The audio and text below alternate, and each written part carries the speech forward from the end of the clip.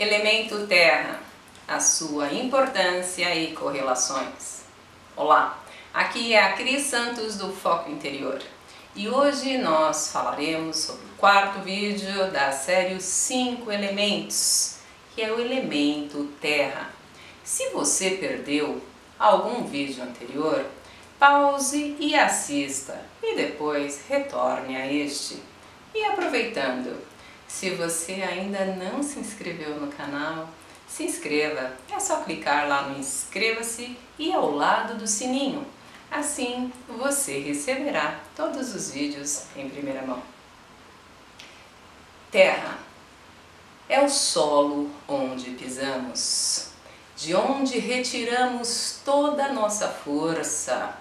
É a base, é o nosso sustento, é a Mãe Terra Nesta fase, a energia está estável e centrada para iniciar o movimento no próximo ciclo. Terra em nós também está no centro, que é o nosso estômago, baço, pâncreas, a glândula timo, que é a responsável pelo sistema imunológico, assim como os, os lábios, a boca e tudo aquilo que está relacionado com o nutrir. A emoção do elemento terra é a preocupação. Por isso que todas as vezes que nós temos algum desafio, algo novo, a tendência qual é? Comer, comer.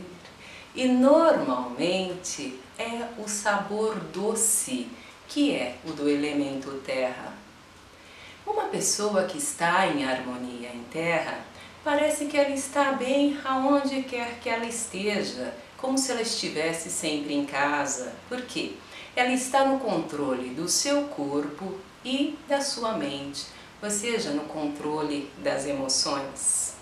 A simpatia, que é uma característica de se relacionar bem com as pessoas, também faz parte do elemento terra.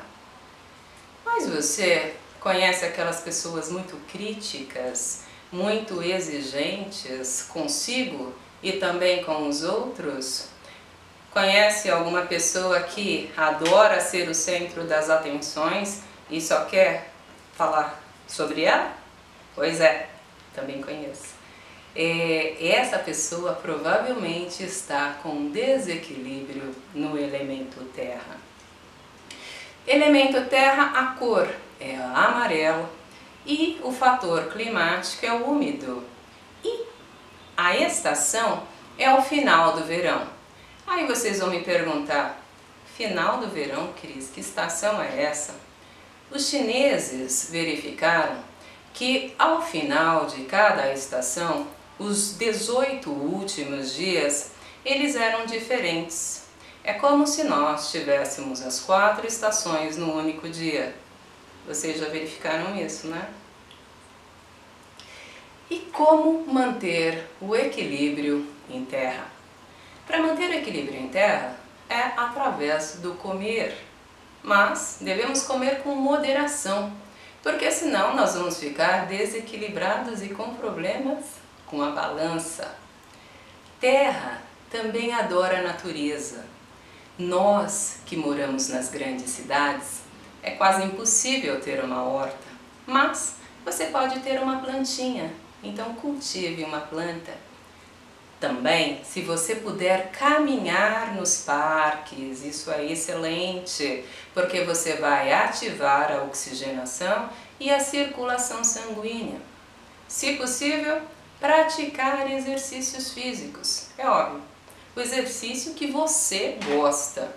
E o mais importante, faça uma lista dos seus valores e das suas necessidades essenciais e se preocupe somente com aquilo que importa, tendo uma vida mais leve. Se você gostou desse vídeo, curta, compartilhe e comente. E até o nosso próximo vídeo. Até mais!